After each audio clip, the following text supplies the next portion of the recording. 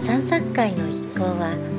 関山神社周辺の文化財を見てまいりました、まずは県指定文化財の仏足石日本では奈良時代に制作された薬師寺の仏足石に次いで古いものとされ国内で唯一仏の足形。実印。そして斜里島が同じ石に描かれています。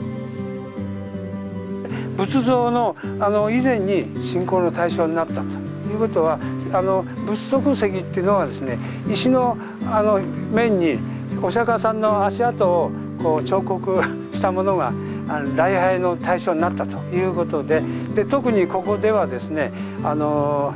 いわゆる、あの3つ彫ってあると。これはあのお釈迦様のあの、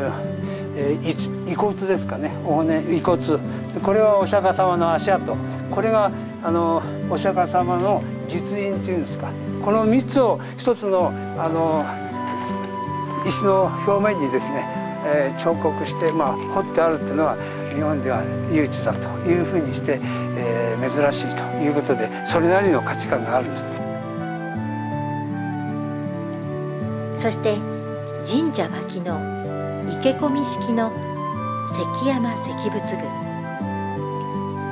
平安時代の末頃の石仏と推定され県指定文化財です。関山神社の周辺に畑だとかあのあちこちのところにあったのをここ集めたということでであの時代はですね平安時代の末期というんで末頃っていうんで1180年西暦ねそうすると今から約800年ちょっとになりますんで。でその当時この辺で何が起きたかっていうと親鸞上人が島流しになって御地のあっこへ上がったあのあの頃が大体その当時の時期に該当するということであります。妙高堂はもともと妙高山頂にあった阿弥陀堂の本尊を祀っています。義仲が戦勝祈願のために妙高山のその阿弥陀如来を収められたっていうふうに書いてます。それがね1えー、1180 1182年ですね。12世紀の後半。上杉謙信も戦勝を願ったとされその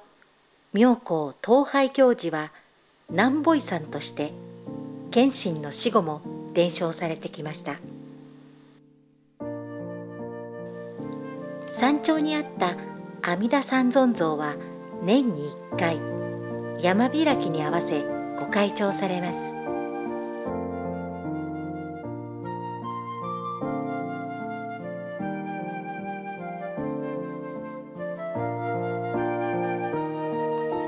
左から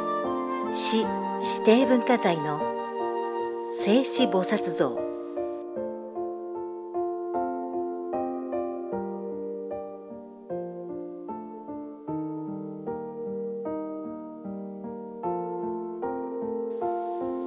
中央の阿弥陀如来像は県指定文化財です。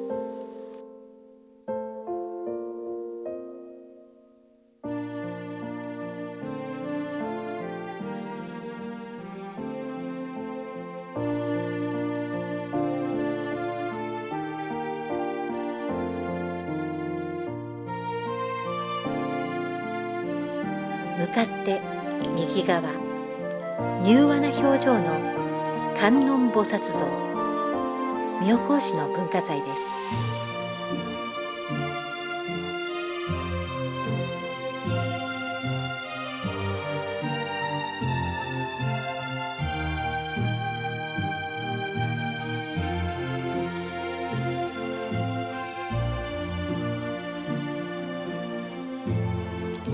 来週から関山宿の横町